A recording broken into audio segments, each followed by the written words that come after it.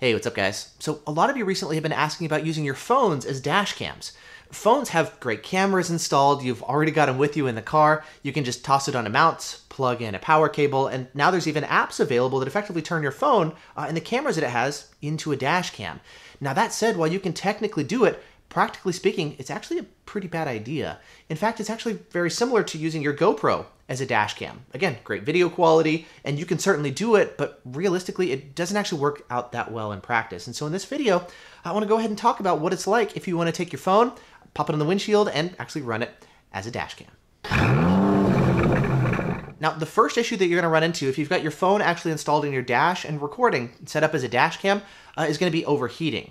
Now, if you're driving around in cold parts of the country or just in the wintertime or something, this is going to be less of an issue. But if you're driving around in hotter weather, your phone is going to be regularly overheating, especially when you've got the camera running and all that kind of stuff.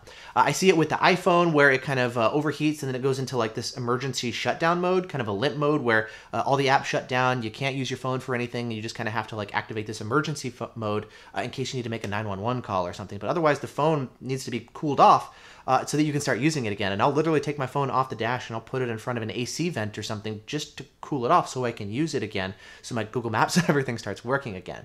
Uh, I say the same thing with my Android phones, where in hotter weather it will overheat, it will start shutting apps down, and I can't use it anymore. Um, so it applies to both. And in fact, I know they just announced the iPhone 14, and one of the things that they mentioned is that uh, it does better in hotter temperatures. iPhone 14 also has an updated internal design that improves thermal performance, which is great for staying in the action longer. My first thought when I heard that is maybe I can actually use it reliably uh, on my dash. That's not the case with the iPhone 12 and my Android either, uh, even with the AC running and all that kind of stuff. It's just heat is definitely an issue. My dash cams definitely work better. They also have their issues uh, in really hot weather, but their heat tolerances are much higher than what I see with phones. And so when it comes to just driving around and having it function and making sure that it's recording, a dash cam is definitely going to be much more reliable uh, and functional in that respect than a phone.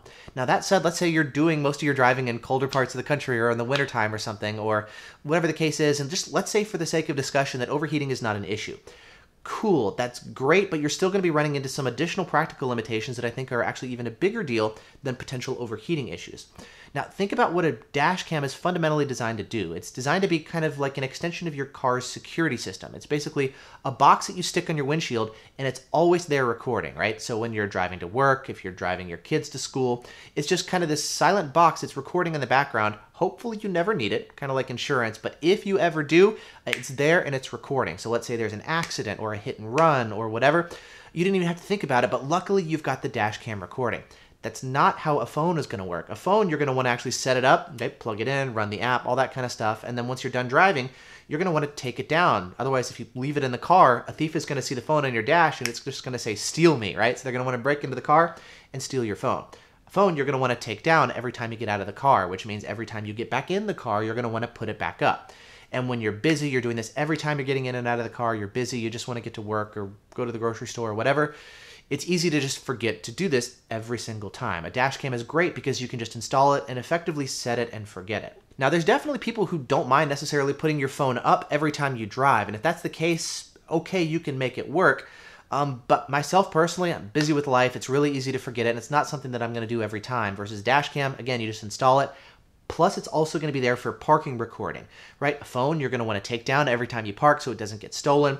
Uh, a dash cam you can leave installed up and running, and it's there in case of a hit and run or whatever happens, you've got that dash cam actually recording and keeping your car protected. And so it's fundamentally designed to just operate differently than a phone to where you install it, hardwire, run the cables, you know, tuck everything away so it's clean and out of sight, uh, but it's still there recording and keeping you protected both while you're driving and while you're parked versus a phone to put it up, take it down, and just that headache means either you're going to have to deal with the extra headache every time you get in and out of the car, or realistically, like in my case, you're just going to forget and it becomes an annoyance. And you want something that you can just install, run in the background, never have to touch it, and it's always there recording. And so, while yes, you can certainly put a phone on your dash and run a dash cam app and plug in a power cable and put it up and take it down and all that kind of stuff, that's a big difference between something that technically works and something that's practically beneficial to where you can just install it and never have to think about it. And in case anything ever happens, you know it's always there, it's always recording, and it's always got your back, which is really what the dash cam is designed to be for. Now, that said, from a video quality standpoint, I think it could certainly be interesting to do a comparison of like what's the quality like here with these sensors versus what we have on a dash cam. And I'd like to do a head to head comparison at some point, but because it's not going to be practically beneficial to actually use your phone as a dash cam, even though there are some people who choose to do it, it's not actually that high on my priority list. And so I'd like to do kind of a, a video quality comparison just from the standpoint of like, what would it be like if we took kind of phone sensors, right, and lenses and put them uh, into a dash cam? Would the quality be better? Uh, how much better would it be at maybe recording multiple camera angles or capturing license plates or faces or details? Like, I think it would be interesting just from that kind of academic standpoint, but from a practical standpoint, it's not actually going to solve the issues that we need of like having a dash cam installed in the car and is always running and is always keeping you protected. And so um, it's on my list to test just from like a curiosity standpoint, but it's not something that I would actually take seriously as a replacement to a dash cam. A dash cam is designed to fundamentally do something different than what a phone is doing, even though a phone could be used as a dash cam, just like a GoPro could be installed to run as a dash cam.